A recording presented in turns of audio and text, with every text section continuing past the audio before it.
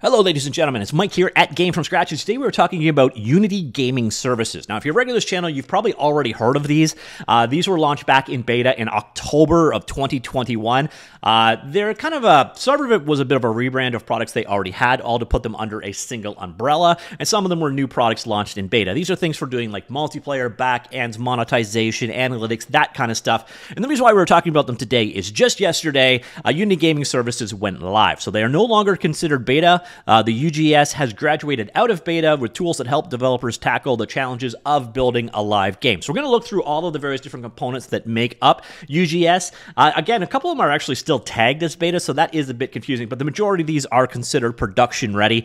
By the way, this isn't Unity only, so you can see here, integrate with the engine of your choice, Unity, Unreal, Homebrew, so you can hook these into the default engine, Godot, O3DE, whatever, or your own custom engine, or you can use them with Unity and Unreal. Now, I gotta imagine they're easiest to work with Unity because that's just the way things work. Now, there is one major problem with UGS, and we'll get to that at the end of this video because, of course, we will. So, uh, it provides a number of different things authentication, cloud saves, and so on, multiplayer networking, analytics, monetization, all the stuff that you need to have on the server side is what UGS is all about. Now, we're going to do a quick run through of the services offered. The first one is pretty straightforward authentication. So, if you need to have users that log in, that is what this provides. By the way, all of these are considered separate, and all of them have potentially their own pricing. I'm not going to get into the pricing details of all of these various different services. It can be a little bit confusing to figure out. And again, you don't have to use all of these things. You can think of this as a la carte. So if you just need authentication, you could use just the authentication piece. If you need cloud saves, you can get the cloud saves.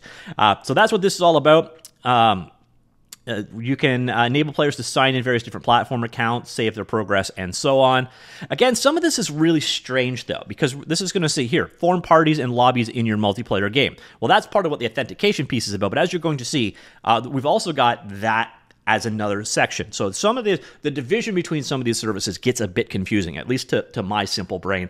We do have cloud save. I do get this one. It's very easy to understand. This is basically cloud-based storage. So uh, progression, abilities, statistics, data, uh, save games, etc. You could save them all in the cloud using this, uh, sort of like Amazon S3, but specifically for uh, game development, more or less. So cloud save, pretty straightforward. Again, they all have their own pricing. That was going to probably based on uh, usage and storage and so on. Uh, next up, we have Lobby. So see where I'm getting a little confused. We have a lobbying service, uh, but the earlier one also was used for making lobbies. So I don't know where one ends and the next one begins. The idea of a lobby service makes sense. It's kind of an off the chart uh, lobby there. So players can create public lobbies using simple game attributes. Other players can then search, discover, and join. Invite only lobbies allow players to create private spaces for selecting participants and so on. Um, a lot of these things do have a free tier, by the way, so you can you go through your development before you have to start paying for anything. And then later on, you can integrate it with Relay. We'll get to Relay in, well, now actually. Relay is uh, a peer to peer system. So this, um, it's a way of enabling um, so service allows you to connect your players and provide multiplayer gaming experience without the need for a costly dedicated server. Uh, so this service enables easy uh, and secure peer-to-peer listen server UDP communications between players. So this is a peer-to-peer technology. That means there's no server in the middle. Your clients are all talking to each other. Um, and the, the big upside on that one is that you uh, don't have to pay hosting costs in that particular case because the servers are basically your clients. Now, the downside is it also kind of makes things a little bit less secure because there is no server, so you can't have server authoritative um, controls on it. Uh, but if you want to add peer-to-peer networking, this is an option. And again, you can mix it with their lobby component to have uh, like a lobby in front. So you use that to like bring the matches together, but the actual networking communication would then be handled uh, by the relay service. Next up, we have matchmaking. Okay, so we got matchmaking and we've got a lobby. It gets a little confusing at this point in time. Now, interestingly enough, this is currently available only in closed beta, anyways.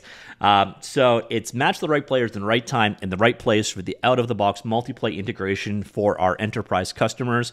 So it's uh, a matchmaker uh, kind of done for you. Uh, so it, it, integrates with their other services.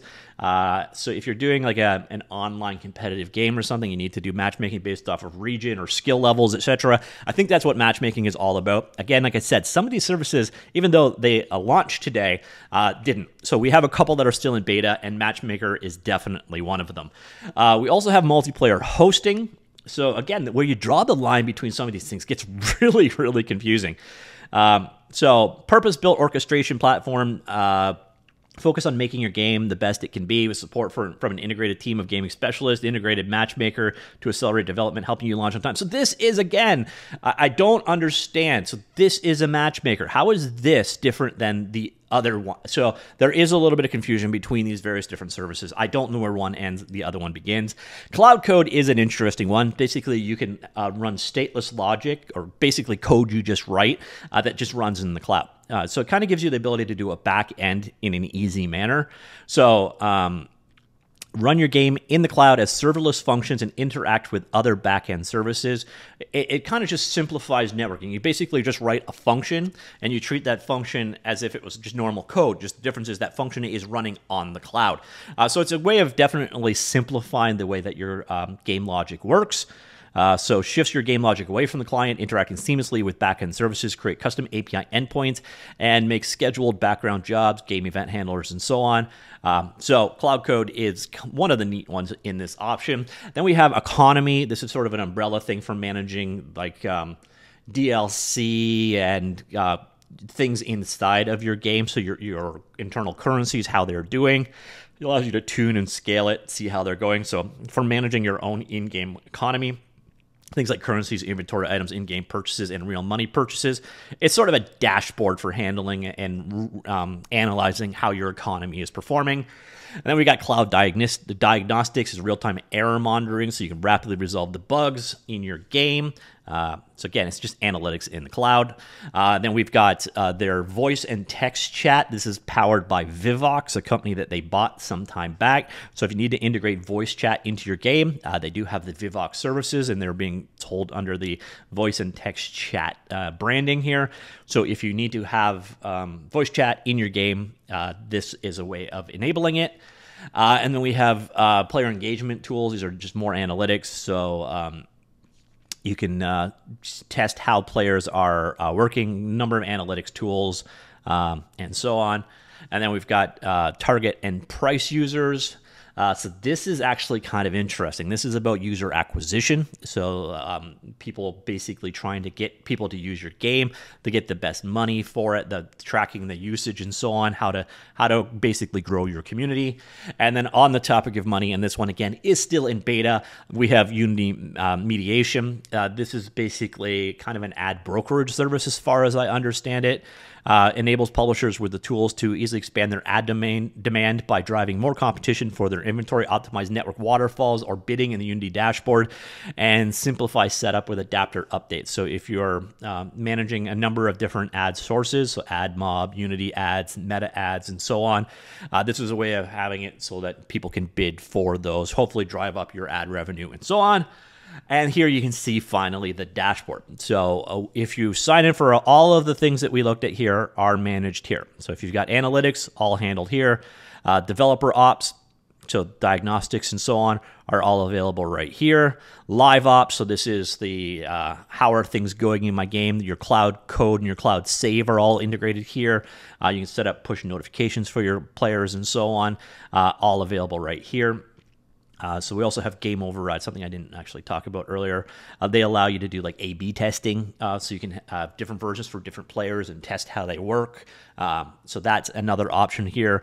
Again, we've got the stuff here for acquiring users. I don't want to download your report. Uh, those options are all available here. We got things about monetization. So if you're using Unity ads or Google ads, Facebook ads, whatever, they're all controlled under this section. And then finally, all your various different multiplayer thing, your, your Vivox, your relay, your lobby, and your multiplayer are all controlled in this part of the dashboard. So it's all controlled in one place, which is definitely nice. So if you if you're deciding to use some of these services, even though like the distinction between them, where one ends and one begins, gets a little confusing. Um, once you get into the dashboard, it actually makes a lot more more sense. So they've kind of got from a marketing business side of things a confused mess, but from a management side of things, they have things pretty clean. So if you've got a Unity account, you can log into the dashboard. Uh, you can go ahead and create a project right here. I don't have one. I, I did one back in uh, October when this first launched. That's the extent of what I've got here. But your project would be here. Now, the nice thing is, again, they do have a free-ish tier, so you can come in and check all this stuff out well in development. Um, so you don't have to really start paying for this stuff until you actually start making some money yourself, uh, which is definitely useful. But now we're back to the problem that Unity Game Services has, and that is online game services. Epic Games online services exist and they do pretty much the exact same stuff. So we've got account services over here uh, for logging in, for storing information, cloud save, and so on. And over here we have things like voice chat, achievements, matchmaking, live ops, and so on. And they have their own dashboard and their own authentication server for handling all this stuff. Do you know what the big difference is? This is free, completely free. So Epic Games online services. Uh, if you want to add networking, doesn't matter which game engine you're using, you can use Epic Online Services to do so. So if you need voice chat, you need cloud save, you need lobbies and networking, uh, analytics, so on. Uh, basically, you can do it all for free here with Epic Online Services, and that is what Unity are competing with. So their uh, whole new Unity gaming services now out of beta have to be better than Epic um, online services, which are free. And that is a challenge. Now, they're not one to one parity. I don't think Epic Games has like the ad and monetization side of things. I don't think they have the user acquisition side of things either. So, there are definitely some things that Unity online gaming services have that Epic services don't. Uh, but what Epic services do have is no price tag.